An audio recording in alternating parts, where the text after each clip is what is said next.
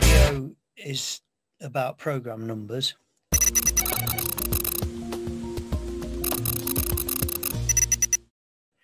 Uh, program numbers begin with the letter O and on a FANUC control it's always a four digit number. So program numbers go from number one to 9,999. Let's have a look in the directory.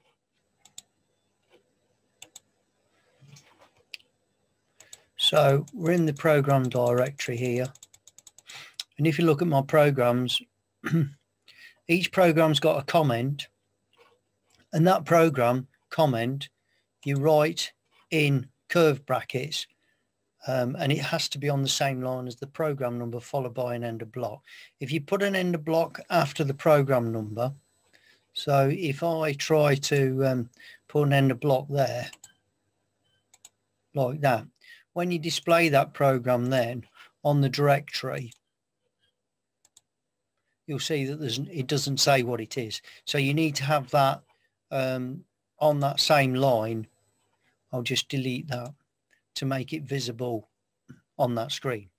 Yeah, so let's take a look on this Haas machine. And you'll see on the Haas machine, if you add an end of block, you can even actually add two end of blocks. And then when you look into your directory, it still picks it up. So you don't need to worry about this on a Haas machine. It will work perfectly fine if you've got a gap there or an end of block, you know, and that comment is on the next line. So that only really applies to FANUC and always say what these programs are. It's really important that you put a good description there and you've got a system so that you can recognize quickly what these programs are when you look at it. Now about the actual program numbers, if we look again in the directory, you'll see that what I use is I use from program one up to 99 for my main programs. So I could have 99 main programs. Obviously, there are other numbers that you can use, but the way I work it is that 1 to 99 is a main program. And then the 100 series programs like these here that I've got 500, 600, 607, 700, etc. They're sub-programs. And that's how I know that they're sub-programs because they're just 100 series numbers.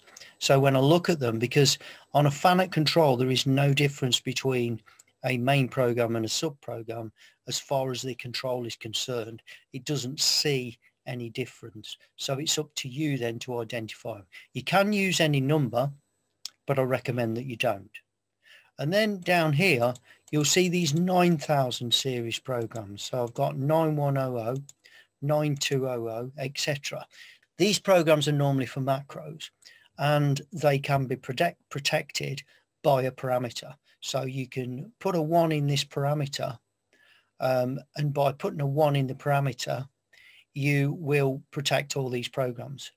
Um, and it will stop. They won't actually be visible on this screen, so you won't even know they're there, and you can't accidentally delete them.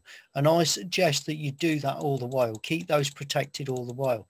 Now, the thing to note with these 9,000 programs is um, they are generally used for macros.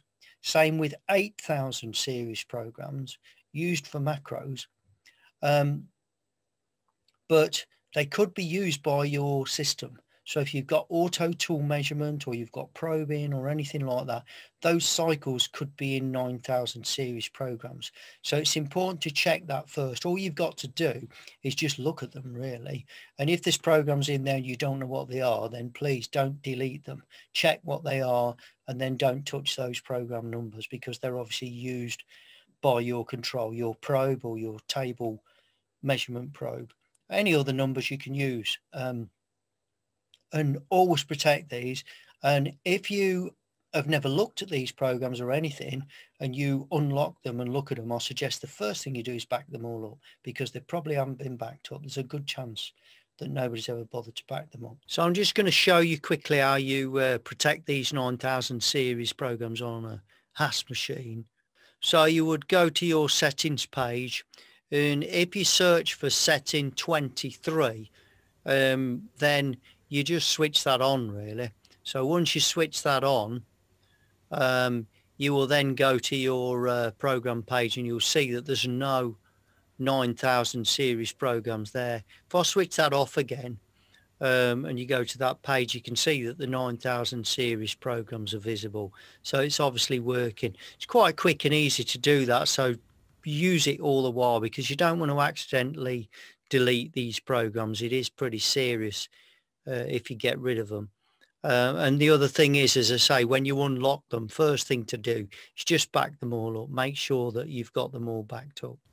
So looking at that then in a main program, so if we look, if we come back to our main program, this is main program number one, and um, that would be a uh, just a 1 to, to 99 is what I would use. When you call in a program, we import the letter O followed by the program number. Now, a lot of people do this and it really winds me up. They go 0002 and lower cursor to search for it.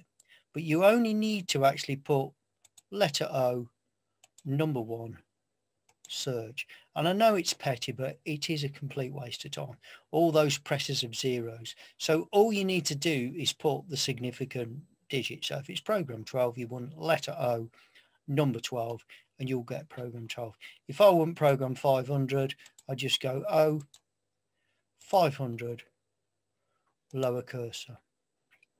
I would recommend that you take your programs out of the control um, and delete them after use. That way you've got very little in the control. Keep your 9000 series programs in the control. You have to do that um, because, and as well, if they're protected, you won't even see them. Don't forget they take up memory space as well. So if you are short of memory, it's worth looking very carefully at what these programs are for and why they are there.